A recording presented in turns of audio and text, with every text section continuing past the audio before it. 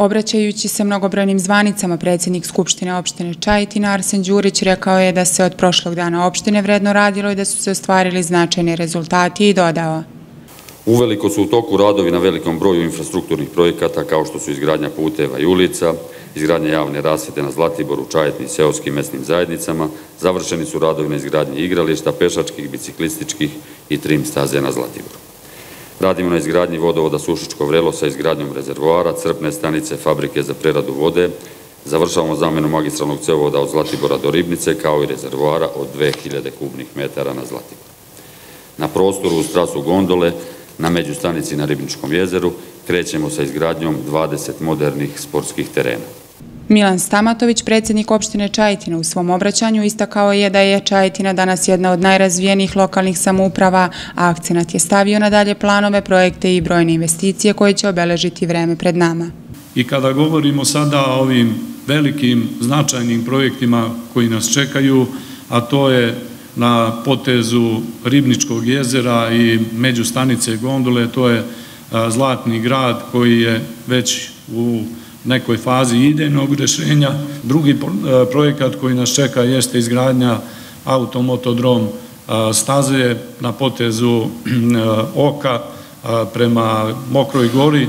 Projekat 20 sportskih terena, što otvorenih, što zatvorenih na ovom potezu od hotela Tornik prema Ribnici. I još jednu stvar, da ne zaboravim, sve su ovo neke investicije koje imaju ograničen vek trajanja ali ono što, sa čim smo ponosni mi i svi odbornici i članovi veća, nešto što nema svoj vek trajanja, jeste da smo na, na sledećoj skupštini ćemo preneti 70 hektara zemljišta na manastir Hilandar za izgradnju naučno-obrazovnog centra. U nastavku svečane sednice dodeljene su plakete, priznanja i novčane nagrade najzasluženijim pojedincima i kolektivima za izuzetan doprinos razvoju opštine u proteklom periodu.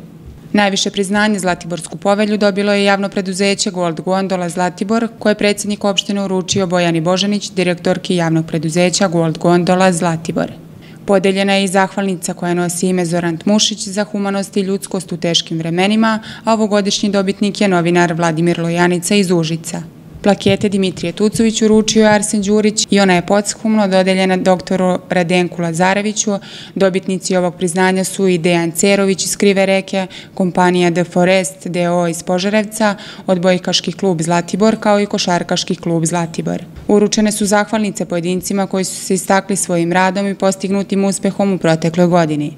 Nagrađeni su Radosav Dabić iz Čajetine i Dragan Ninčić iz Krive reke. Pohvalnice opštine Čajetina dodeljene su svim svršenim učenicima osnovnih i srednjih škola na teritoriji opštine Čajetina, kao i svršenim učenicima srednjih škola na teritoriji Republike koji imaju prebivalište na teritoriji opštine Čajetina, kao i dobitnicima diplome Vuk Karadžić. Ovogodišnji dan opštine posebno će biti upamćen jer je nakon svečanog dela programa na Kraljevom trgu puštena u rad multifunkcionalna plutajuća fontana koja je opremljena vodenim svetlosnim video, audio i laserskim efektima. Između ostalog, Fontana daje mogućnost uživo prenosa Sabine, a svi posetioci sinoć su imali priliku da vide obraćanje predsednika opštine kao i prenos dela koncerta Biljane Krstić i Bistrika na multimedijalnoj fontani.